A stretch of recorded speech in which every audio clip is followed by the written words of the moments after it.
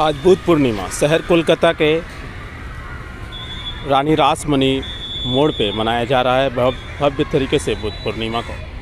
यहाँ पे हज़ारों हज़ारों की तादाद में लोग जो है नज़र आए, जिन्होंने आज बुद्ध पूर्णिमा के इस खास कार्यक्रम में अपनी उपस्थिति जनाई। इसी बुद्ध पूर्णिमा के उपलक्ष्य में हमने आपको दिखाया था कल एक पीस रैली, उसका आज दूसरा दिन था जो शहर कोलकाता के रानी रासमणी में मनाया जा रहा था।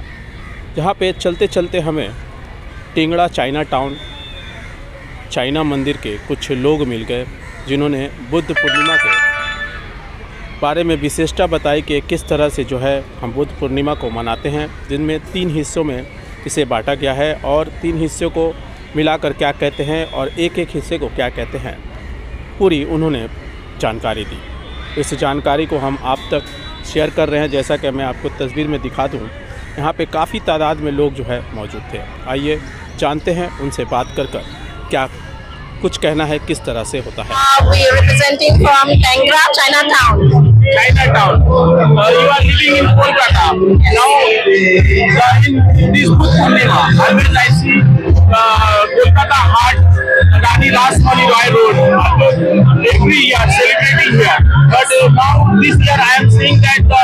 Uh, different part of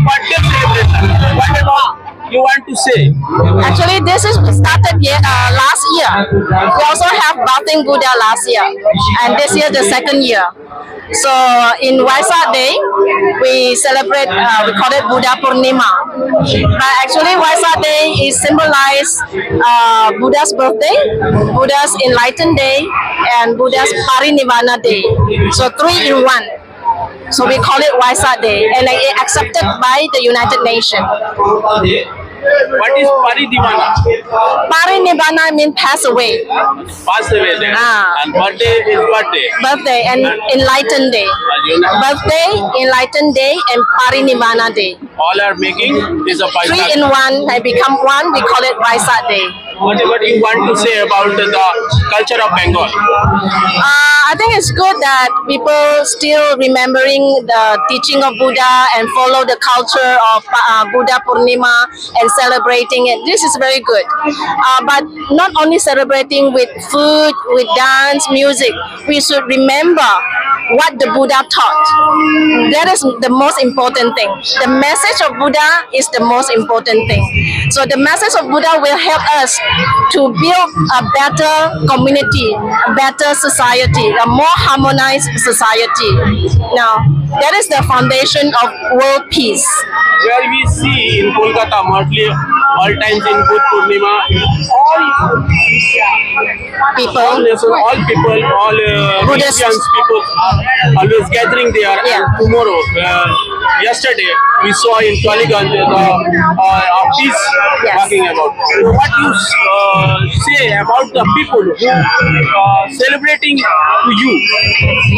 this is a good sign. Like what I said, we should remember the message of Buddha. So when we do the celebrations, at the same time, we should remember It may be the uh, we say the it is positive sign. Heart of Buddha is spreading in Bengal.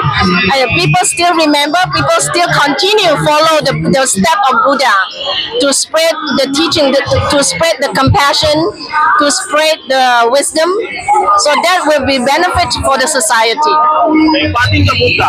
Actually, the, the ceremony of bathing the Buddha is started from China, and Chinese Buddhism started, as you know, that from India. So in the sutra, it says that when Buddha was born, there's uh, devas, heavenly beings pouring water from the heaven, from the sky to the baby Buddha. So when Buddhism comes to China, it become a culture to celebrate Buddha's birthday with bathing Buddha. And the meaning important is the Buddha, actually, we are not only cleanse our physical body, but we should cleanse our mind. To purify our mind is the best, is the most important practice in the Buddhism. Okay, we just mentioned that the teaching of Buddha, in the simple way, we can say that uh, acha karo, acha bolo, acha shocho. This is how my master, Master Venerable Master Xing Yun, promoting.